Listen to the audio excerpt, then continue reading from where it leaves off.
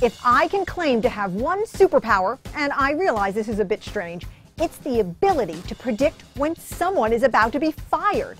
Okay, maybe it's not so strange, because about 25 years ago, I lived through a huge layoff, and I discovered a formula that very accurately predicted who was going to stay and who was going to go.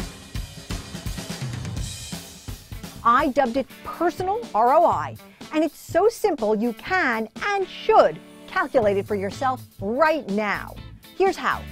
Divide your salary and benefits, basically your cost to the company, into the revenues you generate.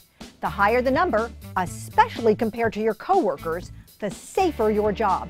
That's it. For example, say you make about 150K a year all in, and the annual net income from the product you're responsible for is about 5 million. That gives you a personal ROI of about 33. Barring some kind of major cultural misstep, you won't be clearing out your desk anytime soon.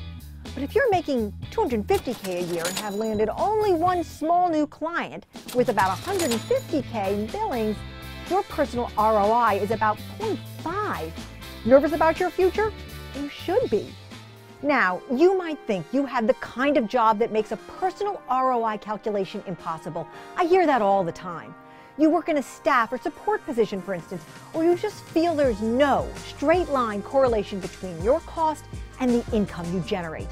I'm sorry, but here's the truth. Somewhere in your organization, someone is calculating your personal ROI.